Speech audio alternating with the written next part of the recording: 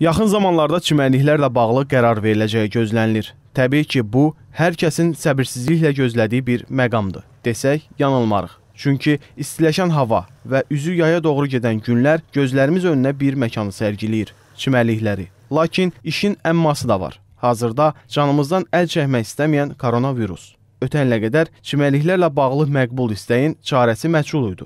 Ancaq indi elə deyil. Dərdə dərman tapılıb xəstəliyə qarşı peyvənd olunmaq. Biz e, nəzərdə tutduğumuz hədəf tiplərinin e, vaksinasiyasını həyata keçirsək, son nəticədə bizim arzuladığımız digər yumşaldılmaları da gətirib çıxaracaq. Belə ki, havaların isinməsi ilə əlaqədar olaraq həm açıq havada maska məhdudiyyətinin aradan götürülməsi aktualdır. Həm e, bundan sonra çimərliklərdə insanlarımızın həm e, növbəti soyuq mövsümlərdə sağlamlığının qorunması üçün günəş şüalarının, günəş vannalarının qəbulu, çimərliklərdən istifadə həm də insanların öz rahatlığını və e, istirahətini keçirmək üçün çox önəmli faktordur. Lakin burada yenə də pandemiya reallığını unutmamaq lazımdır. Bunun üçün sağlamlığımıza diqqət yetirmək məqsədi ilə vaksinasiyada aktiv iştirak etməliyik. Burada artıq müəyyən yaş qruplarında uğurlu vaksinasiyanı aparmağımızla yanaşı, digər yaş qruplarında olan əhalinin də nisbətən daha gənclərin bu prosesə cəlb olunması çox əhəmilidir.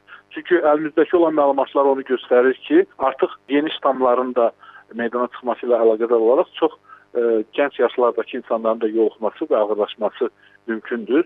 Bu baxımdan hər birimiz bu prosesdə yaxından iştirak etməliyik ki, həm əhalimizin, xalqımızın sağlamlığının qorunması üçün, həmçinin də özümüzün digər məhdudiyyətlərinin aradan qaldırılmasında oynadığımız rol baxımından vaksinasiyada yaxından iştirak etməliyik. Əks halda aqibətimiz ötən ilki günlərə dönəcək. Xatırlayaq ki, keçən il yay fəsli Azərbaycana girəndən 45 gün sonra çimərliklər açıldı. Səbəb isə su kimi aydın idi.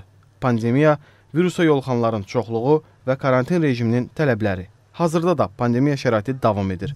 Lakin istəyimizə çatmaq öz əlimizdədir.